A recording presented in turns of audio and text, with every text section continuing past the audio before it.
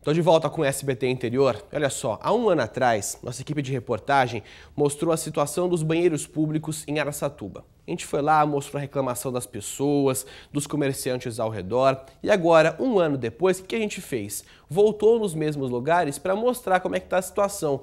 E o detalhe é que pouca coisa mudou, viu gente? Na época, a prefeitura disse que iria desativar os locais, mas apenas os banheiros de uma praça na região central realmente foram desativados. A população se queixa aí da situação precária que esses locais estão.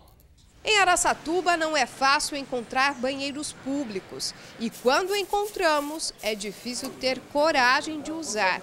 Nestes aqui, na zona sul de Araçatuba, que fica em uma praça onde ao lado são realizadas feiras, acabou de ser limpo pelo zelador mas o aspecto de sujeira prevalece por conta dos vasos sanitários e azulejos encardidos. Além disso, não existe iluminação no local. Deve ser um local bem cuidado, limpo, onde as pessoas podem, possam entrar com segurança. Né? É, acho que Araçatuba merece esse cuidado. E qual é a impressão que a senhora tem desse banheiro? Que não é cuidado. A senhora tem coragem de usar esse banheiro aqui da feira?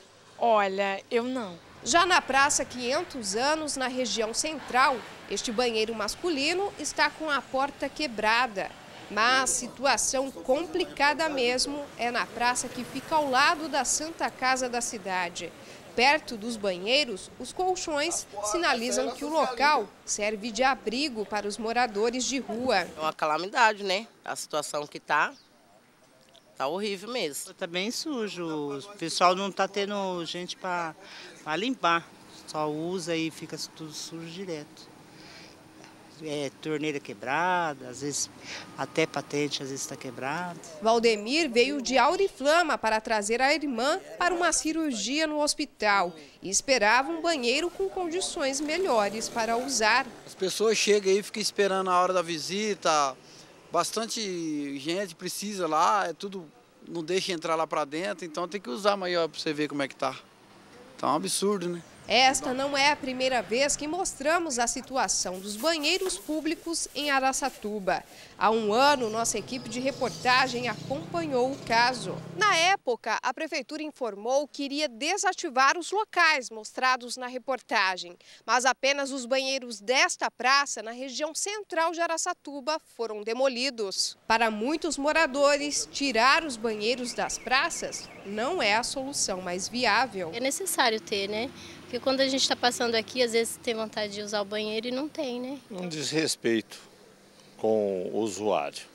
O banheiro é necessário, mas precisa de alguém cuidando.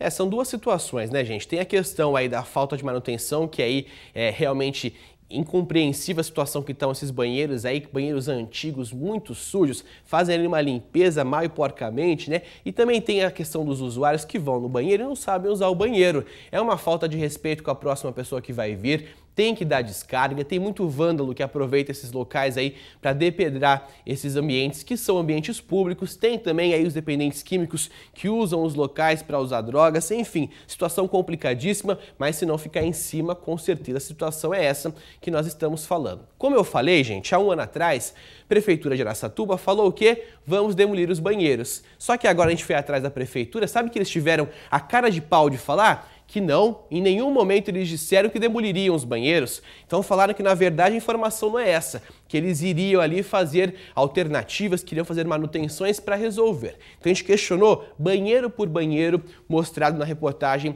da Viviane Santos. Em relação, gente, ao banheiro da Avenida dos Estados, foram realizadas aí algumas adequações. A assessoria de imprensa informou que os vizinhos até queriam que os banheiros fossem retirados de lá, mas alguns comerciantes pediram para que eles permanecessem, permanecessem na praça.